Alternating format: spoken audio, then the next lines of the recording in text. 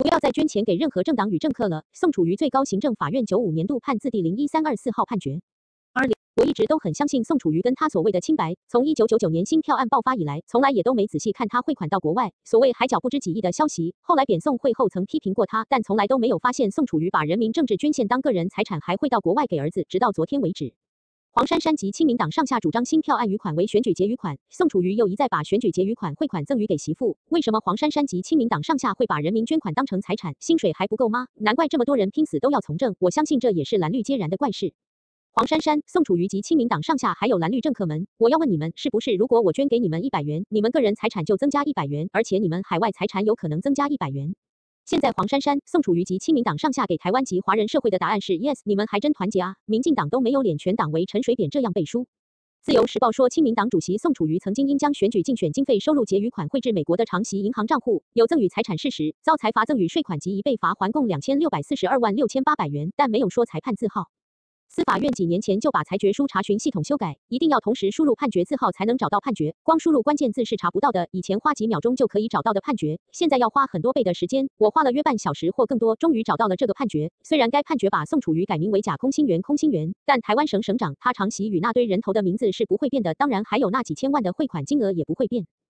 我真的不知道黄珊珊、宋楚瑜及亲民党上下要如何解释宋楚瑜汇款给海外亲人的事实与陈水扁有什么不同。亲民党穷，宋楚瑜可不穷。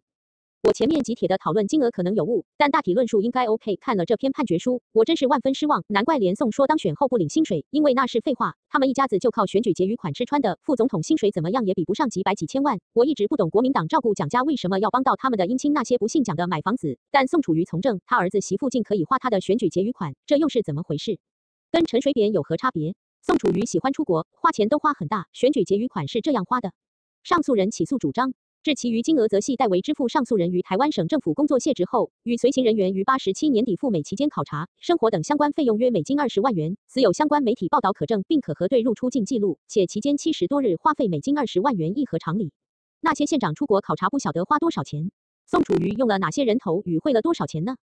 原审斟酌权辩论一纸及调查证据之结果，以一上诉人于八十三间参选台湾省省长期间，将部分募得之竞选经费收入存入其配偶之妹陈碧云在第一银行南京东路分行之活期储蓄存款账户内，并于八七年二月十日、十一日、二十四日、二十五日及十月九日委由其岳母陈周黎明及第三人庞志生、苏书红、梁耀雄等人将该账户中之九百八十七万九千元、美金三十万元、六百五十四万元、美金二十万元、九百八十四万六千元、美金三十万元、九百八十四万元、美金三十万元、六百五十五万八千元、元美金二十万元，合计四千两百六十六万三千元，汇至其其温酒会在美国之银行存款账户内，有第一商业银行活期储蓄存款取款凭条、结汇资金明细表及结汇申报书影本等资料可稽，亦为上诉人所不争执。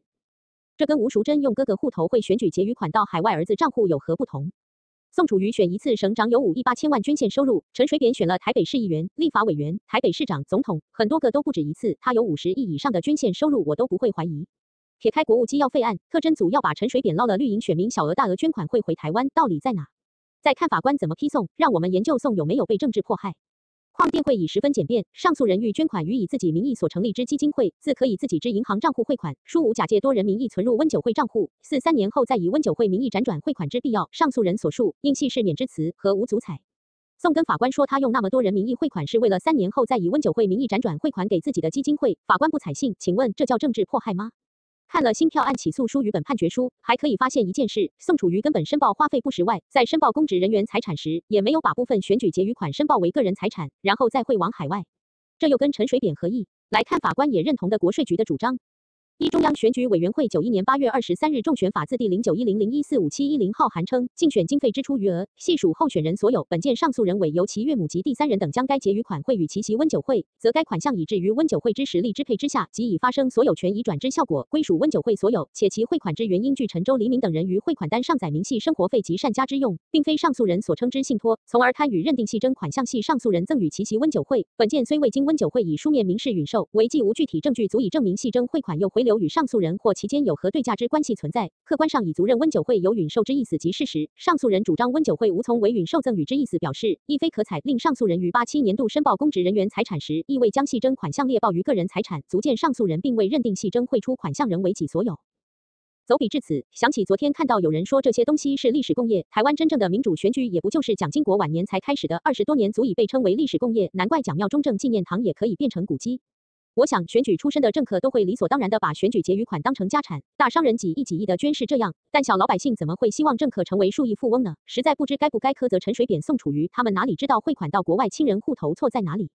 陈水扁、宋楚瑜已经告诉大家，他们会把那些钱当自己的钱。陈昭南说为民众捐款之目的，是为支持宋楚瑜竞选省长，非为使其成为数亿富翁。但陈水扁、宋楚瑜就是认为那笔钱是他们的，大家捐款给他们享受，对吗？错的是我们。我呼吁所有的台湾人不要进行任何政治捐献了，特别是小额捐款。如果政治人物的贪婪是人民的共业，既然他们改不了之前，我们当然改得了手贱。陈水扁、宋楚瑜之外的人呢？替他们辩护的都有嫌疑。我相信，即使表面清廉的，也有可能暗地贪污。所以不要再捐钱给任何政党与政客了。Written by Blackjack，二零一零年五月二日，最高行政法院判决九五年度判字第零一三二四号，上诉人甲空心元空心元，诉讼代理人林律师，被上诉人财政部台湾省中区国税局，代表人郑宗典。上列当事人间因赠与税事件，上诉人对于中华民国九四年一月十三日台中高等行政法院九三年度诉字第三百二十二号判决提起上诉，本院判决如下：主文，上诉驳回，上诉审诉讼费用由上诉人负担。五、本院案。一、行政法院应依职权调查事实关系，不受当事人主张之拘束。行政五、本院案。